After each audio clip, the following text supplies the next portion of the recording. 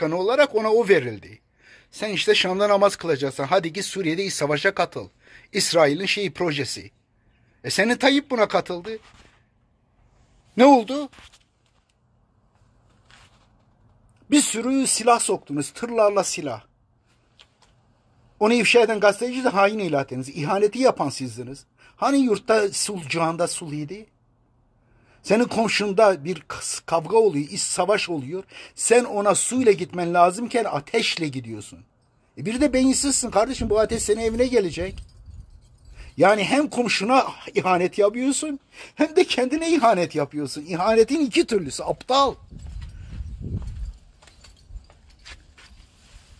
Yıllarca Suudi Arabistan'dan işte şeyin ekonominin iyi olmasının sebeplerinden birisi de oydu.